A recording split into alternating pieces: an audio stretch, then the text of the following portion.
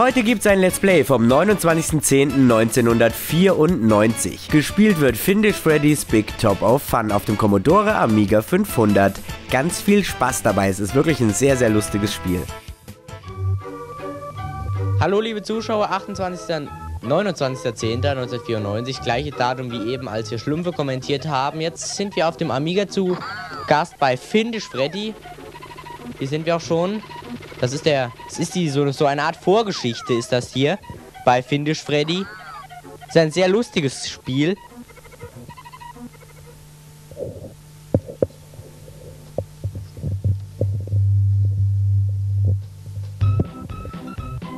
Ja, jetzt geht das schon los. Sie hören den Sound im Hintergrund.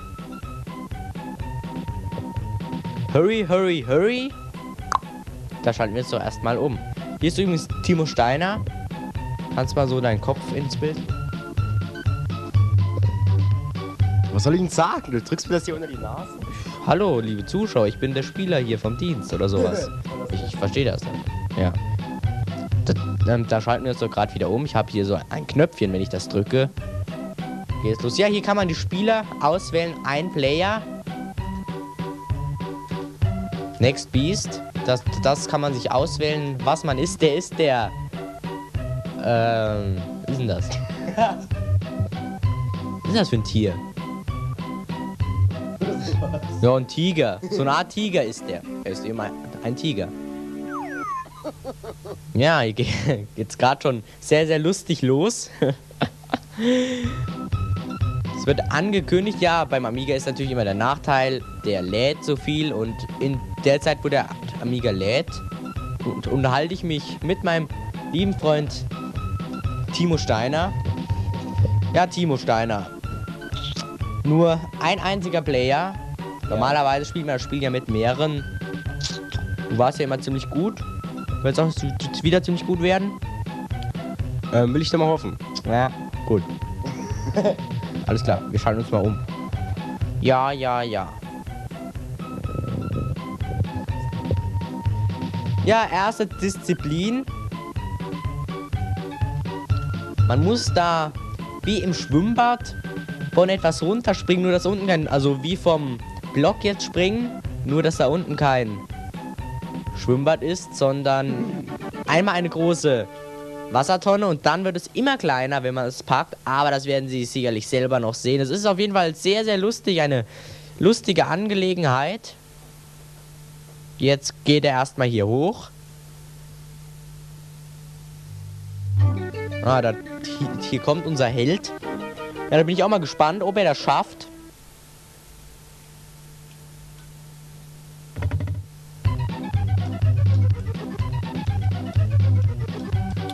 Ja, sie, es könnte sein, dass Sie das Joystick-Geräusch im Hintergrund hören. So hört sich das ungefähr an. Ja, wenn Sie es hören. Ja, da macht er sehr schöne Verrenkungen. Das ist natürlich witzig. Oh, gleich hat er es ge geschafft. Er ist in der Tonne drin. Ja, er hat es tatkräftig geschafft. Und der Computer lädt auch die nächste Disziplin ein. Oder nein, er lädt die Richter ein. Oh, das wird natürlich schwer. Der muss sich dann richten lassen. Aber die lädt er erst nachher ein, denn er hat es ja geschafft und somit geht es ab in Stufe 2. Stufe 2 ist ein Wasser, ein Eimer, der ist ungefähr ähm, so groß hier. So, und da muss er dann reinspringen.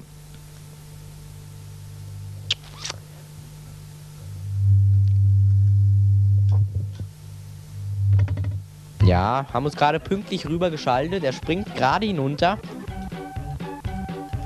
Ja, meine Kollegen in der Regie haben doch das richtige Gespür dafür. Oder kam schon wieder der Saboteur? Er wollte ihn sabotieren. Unseren Timo Steiner. Aber das lässt er sich natürlich nicht gefallen. Er ist auf dem besten Wege. In den Eimer zu fallen. Er schafft es. Hoffentlich auch. Ja. Sehr schön. Er hat es geschafft. Und wir freuen uns doch alle. Der Computer lädt. Die nächste Stufe ist ein Amboss. Da muss er dann drauf springen. Schmerzhafte Sache, aber wer es mag. Vielleicht ist er auch ein Masochist.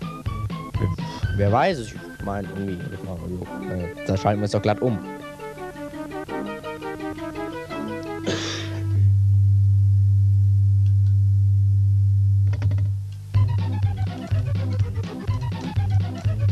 Ja, Sie sehen schon rechts unten. Man kann den Amboss einigermaßen erkennen.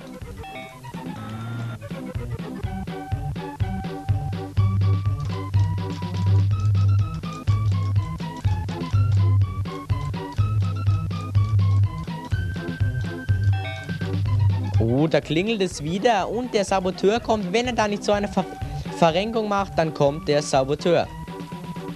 Oh, jetzt springt er auf den Amboss drauf und er hat es geschafft. Wunderbar, wunderbar. Ja, ähm, jetzt kommt die letzte Stufe für dich, nämlich eine Tasse. Eine Tasse wird schwer. Mal sehen, ob ich reinpasse. Das wird schwer bei dir. Wird sehr schwer, da reinzupassen. Nein, nein. Der Kommentator wird nicht geschlagen. Hier sehen wir übrigens das, das Teil mit dem Timo Steiner spielt. Ein Competition Pro 2000 Standard. Ja, das stimmt. Du hast ihn mir repariert. Aber ich sage, los geht's.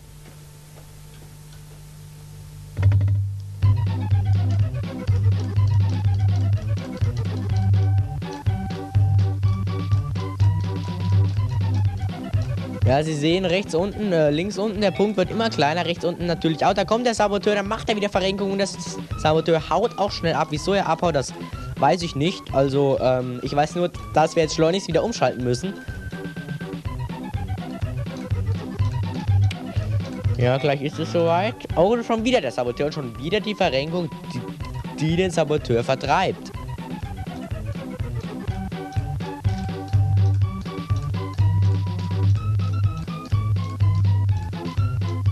Und geschafft, liebe Zuschauer. Sie haben es mit eigenen Ohren gesehen. Er passt in die Tasse hinein.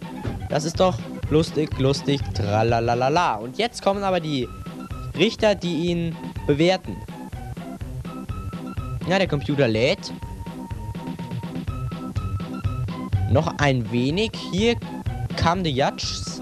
Jatsch, Jutsch, Jatsch, was weiß ich, wie das ausgesprochen wird. Jutkes. Jutkes kann man es natürlich auch aussprechen, wer es mag, wem es gefällt. Jutkes halt. Die kommen jetzt. Und ja. Mal gespannt, wie viel Timo Steiner bekommt für seinen Auftritt. Es wird immer in ähm, Kohle. Wird das einem ge ge gegeben. Er, es wäre gut, wenn er nach allen Disziplinen 10.000 Dollar zur Verfügung hat. Aber dazu wird es wahrscheinlich nicht kommen. Ich weiß es nicht. Jetzt geht's schon los. Now Jutsching. Ja, das ist eine sehr lustige Angelegenheit. Sie, Sie, Sie müssen mal auf diese fünf Personen achten. Jetzt.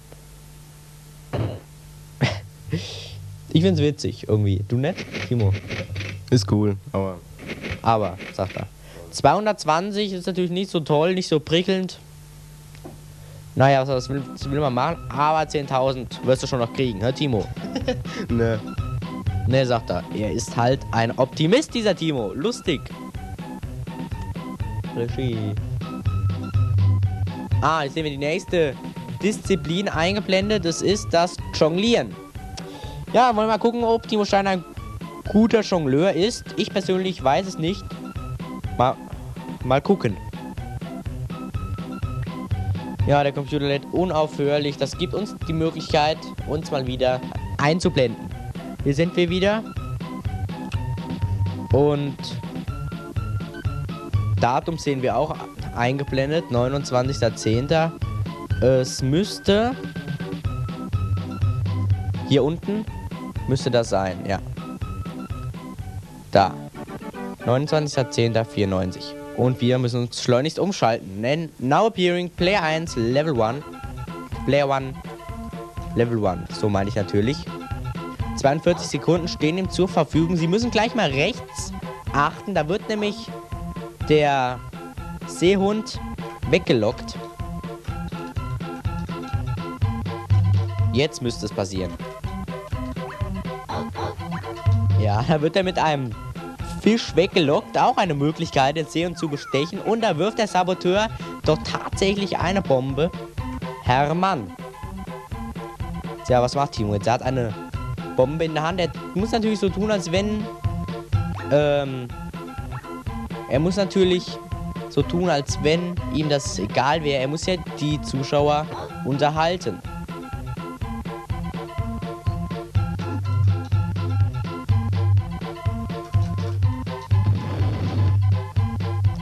Eine Sekunde war noch übrig, liebe Zuschauer, dann hätte er es geschafft. Schade, schade, schade.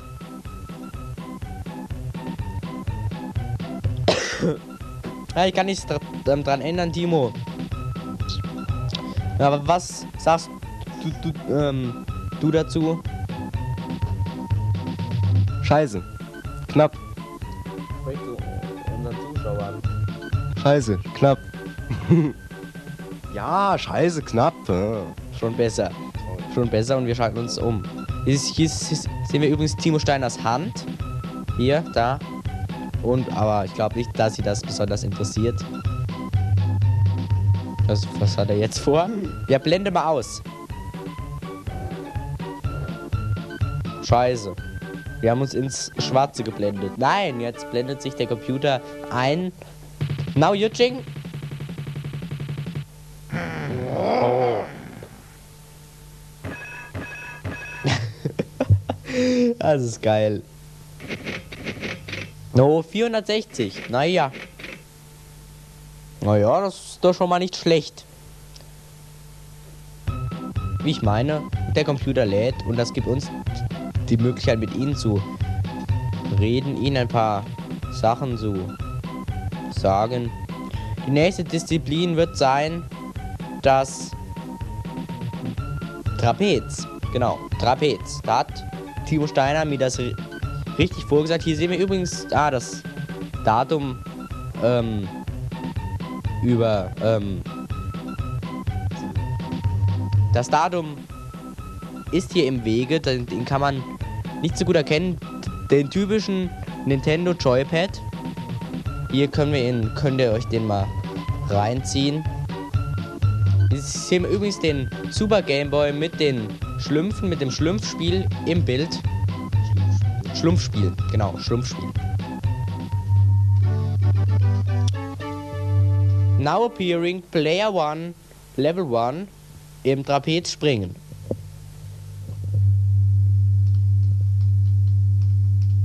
Ja, vielleicht wird's bald mal. Timo Steiner hat da nicht auf den Knopf gedrückt, hat ein wenig geschlafen, aber jetzt ist er wieder wach. Ja, sehr schön.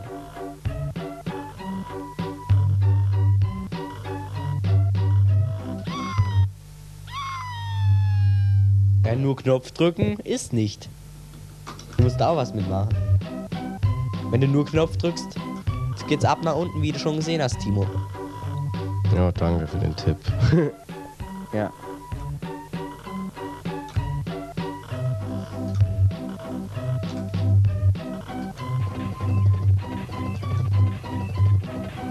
Ah, schon wieder nach unten. Schade, schade. Aber er. Nein, er hat jetzt keinen Versuch mehr. Das tut mir persönlich natürlich sehr leid. Aber jetzt kommen ja natürlich wieder die Richter und die. Ich weiß nicht, ob sie so, so großzügig mit dem Timo sind, denn er war wirklich nicht so gut jetzt. Ähm, naja, müssen wir mal sehen, wie sie, was sie ihm geben. Ich glaube, also ich mein, mein persönlicher Tipp ist mal so 16 Dollar. 16 Dollar mehr kriegt er nicht. Er hat doch. Ne, Moment, er hat ja ein Seil erwischt. Sagen wir mal so 50 rum. F ja, 50 rum müsste er eigentlich so kriegen. Wärst du damit zufrieden, Timo? Bei der Leistung, ja. Ja, bei der Leistung kann man mit 50 zufrieden sein. Das sehe ich auch so. Wieder ins Schwarze geblendet. Es war wieder klasse gemacht. Now you ching. Ja, gelangweilt sind sie. Ja, und wieder die Torte. 160. Ui, da kann er zufrieden sein. Da kann er sehr zufrieden sein. Und ich höre gerade von meinen Kollegen aus der Regie, wir haben als nächstes Crazy Sue für sie vorgesehen. Ein doch sehr lustiges Computerspiel im Public Domain Bereich auf dem Amiga, nur leider finde ich es nicht. In der, was ist denn? Ah, so. Da muss man jetzt die. Ach, ich stehe. Hier bin ich wieder. Ich muss jetzt Disketten wechseln. Die muss ich jetzt ins Laufwerk stecken. Und ähm, Timus, such doch mal bitte Crazy Sue raus aus meiner Diskettenbox, denn das wollen wir. Was ist denn hier los? Heißt der? Ah, jetzt funktioniert's. Ähm, ja, wo ist Crazy Sue drauf? Liebe Zuschauer, ich weiß es jetzt leider nicht. Das wäre natürlich schade, wenn wir das nicht- kommentieren können. Das ist wirklich ein hervorragendes Spiel. Macht auch sehr, sehr viel Spaß zu spielen. Und hast es gefunden? Nee, hä? Scheiße. Nein, wir gucken da nochmal nach und halten sie natürlich auf dem Laufenden. Ja, ich würde den Computer immer noch laden, aber wir können uns angucken, was die nächste Disziplin ist. Messer werfen, liebe Zuschauer. Das ist natürlich eine sehr gefährliche Disziplin. Dabei kann man sehr viele Schmerzen davon tragen. Ja, doch, doch. Das, liebe Kinder, macht das nicht nach zu Hause. Was ihr hier seht, macht das ja nicht nach.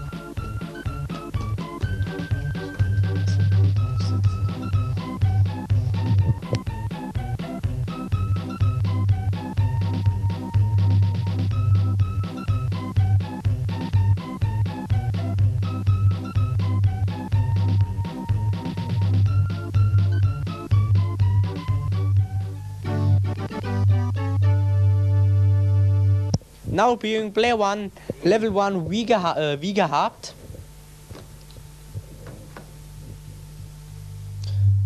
Ich finde einfach kein Crazy Sue, liebe Zuschauer. Das ist ärgerlich.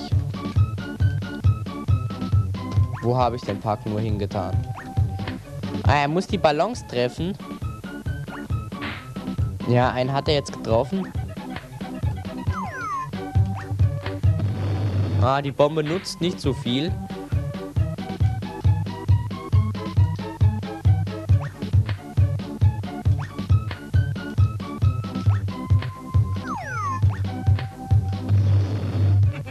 Da, da trifft er den Ballon einfach nicht.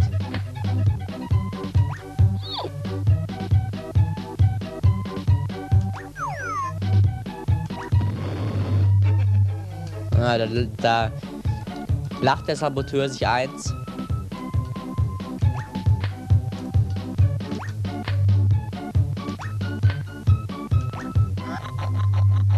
Ja, da wird er abgeschraubt, denn er hat keine Messer mehr. Schade, schade drum. Es hat nicht sollen sein. Wieder mal verschissen. Und die nächste Di Disziplin, die letzte Disziplin wäre das K Cannonball. Aber vor dem Cannonball kommt natürlich noch auf dem Seil balancieren. Die Disziplin, die auch sehr, sehr schwer ist, die man nicht unterschätzen sollte. Ja, wieder mal die Laderei.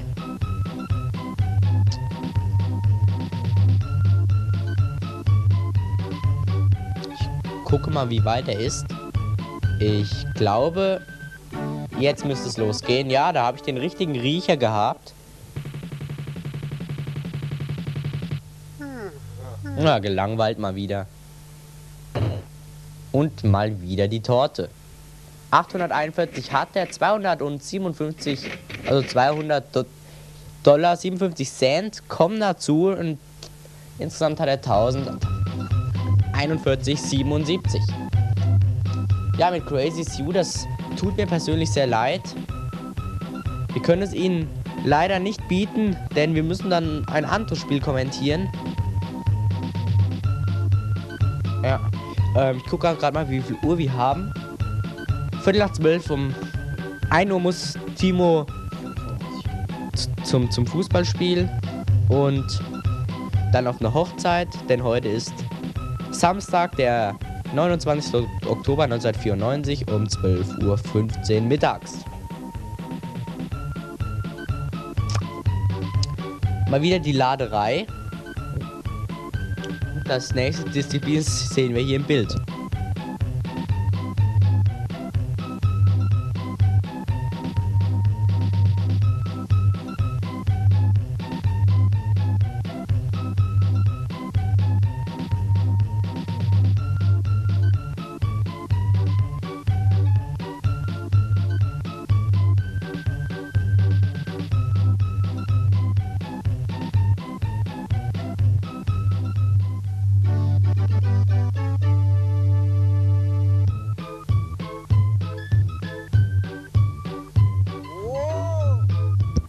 Jetzt geht es los. Hier hören schon die Schreie. Oh, wenn der Stab rot wird, dann ist es gefährlicher. Oh, das wird sehr, sehr gefährliche Sache werden. Na, jetzt ist der verschissen. Er fällt hinunter, er fällt aber ziemlich langsam. Ja, Ti- Timo Steiner regt sich auf. Hier sind die Gesichter. Diese hier meine ich nicht, die hier, die sind natürlich auch da, aber ich meine natürlich die da. Oh, was passiert jetzt? Oh, oh, der Saboteur ist wieder am Werk. ja, das ist lustig. Das ist genau mein Humor, liebe Zuschauer. Das ist wirklich sehr, sehr lustig. Timo Schreier lacht sich hier eins. Ja. Da lacht er sich eins. Der Mac ist.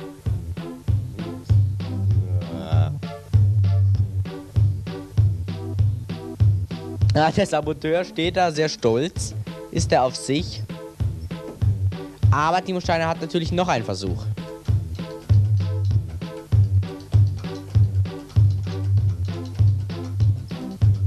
Ja, oder probiert er auf Nummer sicher zu gehen.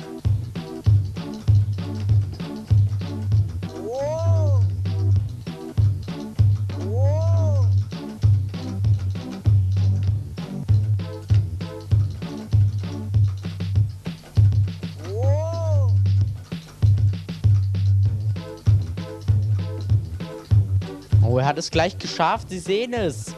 Nur noch wenige Sekunden vom großen.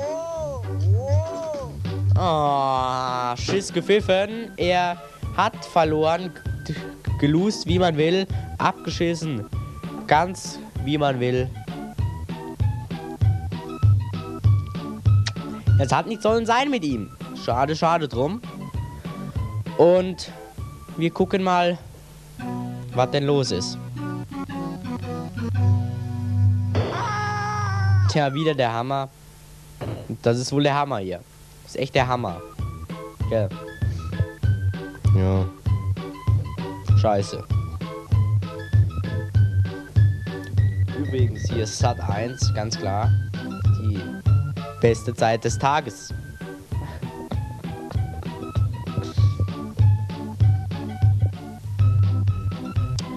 Hier kam die Jatsch. Komm, kommt gleich eingeblendet.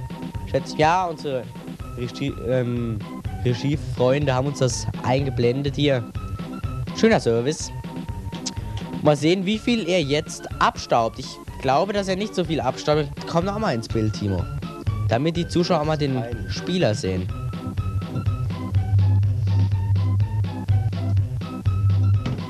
Ja, jetzt kannst du. Ah, da ist er oben rechts. Sehen Sie ihn jetzt nicht mehr. Peinlich. Ich weiß überhaupt nicht, was der will hier. Da schalten wir uns doch, äh, da schalten wir uns doch glatt um. Now checking Player One. Das ist natürlich Timo Steiner, den wir hier sehen. Oh oh, da werden sie Bies.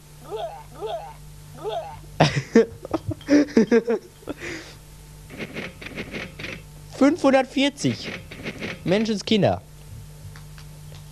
Na, das kann sich doch sehen. Oh nein. Ah, diese Sendung ist mal wieder von Pannen übersät. Oh, es klappt mal. Ja, wenn, Timo Steiner nicht ins Bild will, mache ich halt so. Denn dann bin nur ich im Bild und das wollen sie doch sehen. Schätze ich mal. Oder? Schätze ich da falsch? Du den Bild aus dem Typ. Schneid das raus. Ja, Timo Steiner ist mal wieder hier oben. Timo, ist gut, Timo. Ganz. Ist ja alles, es wird alles gut werden. Ganz, ganz ruhig. Es wird. Gleich kommen solche netten Herren in weißen Kitteln, die werden dir dann helfen. Also, es wird alles gut werden. Also, was der hier, also, der ist ja bald am Ausrasten. Deswegen schalten wir uns um.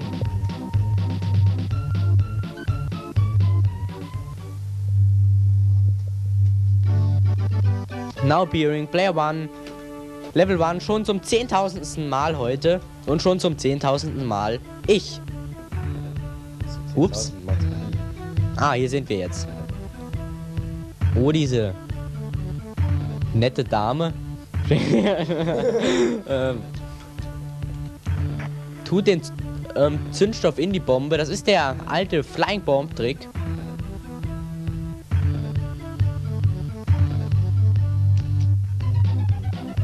Äh. Ja, mal sehen, ob das was bringt hier. Oben sehen Sie. Oh nein. Zu weit, das wird nichts.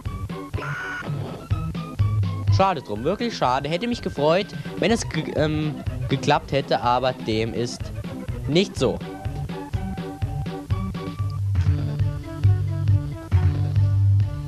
Oh, es geht auch gerade schon weiter, deswegen schalten wir es doch glatt wieder um. Ja, diese nette Dame finde ich sehr, sehr, sehr, sehr, sehr, sehr nett. Ja. Findest du die auch nett, Timo? Besonders fein. Ja, die, die hat auch besonders feine Schuhe. Hat diese Dame an. Besonders feine Schuhe. Und hier bin wieder ich. Bin auch besonders fein. Und klein. Klick. Oh, knappe Angelegenheit war das hier. Schade drum. Schon wieder hat es nicht geklappt. Es hat mal wieder nicht sollen sein. Was ist peinlich? Na, Timo spielt heute nicht besonders gut. Schade, schade drum. Ähm, naja, was will man machen? Gleich kommen wir die Jutsch nach dem Versuch.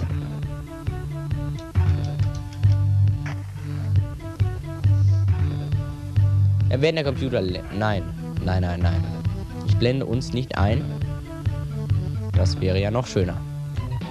So, die Kugel fliegt und Timo, glaubst du, äh, kurzer Tipp, packt es? Ja, ja, ja, ja, trifft 100%. Okay, mal gucken.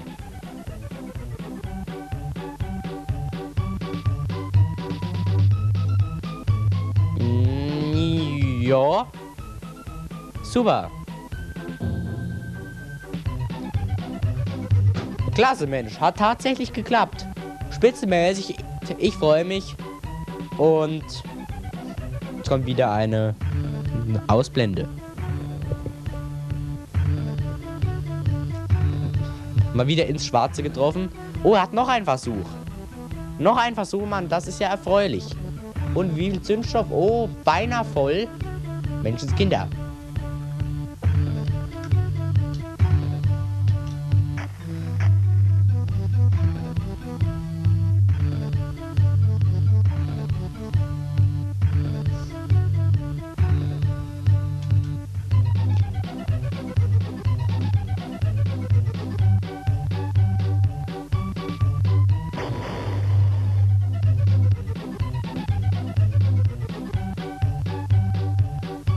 Oh oh, der geht eindeutig zu weit. Oh, ach du, der geht sehr zu weit. Oh, gegen den Pfahl. Tja. Das war's. Das war. Entschuldigung, jetzt sind wir wieder da. Das war Findisch Freddy. Noch einmal kommen die Jutsch. Dann ist das schon zu Ende. Und wir sind jetzt eingeblendet. Jetzt sehen wir wieder uns eingeblendet. Ja, ja, das war wieder ein spannendes Spiel. Mir hat es sehr, sehr viel Spaß gemacht zu kommentieren und ich hoffe, dir hat es auch Spaß gemacht zu spielen. Jetzt kommt noch mal ins Bild zum Abschluss, Hermann. Hat es dir Spaß gemacht zu spielen? Ich besser gespielt hätte, ja. Ah, so hat es dir keinen Spaß gemacht? Nein. Okay.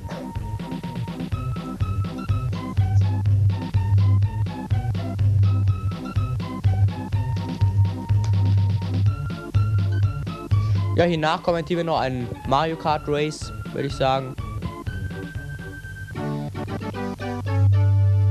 Now Jing Player One, wie gehabt. Ein letztes Mal. Oh, ein letztes Mal werden sie Bees. Und ein letztes Mal kriegt der zweite von links einen auf den Deckel. Plus 460, 2000 rum hat er dann, ja, 2042 und 78 Cent hat er auf seinem Konto. Kann er auf seinem Konto verbuchen. Und jetzt kommt natürlich noch eine Endsequenz. Der hat keine 10.000. Und jetzt. Hm. Ja, hier.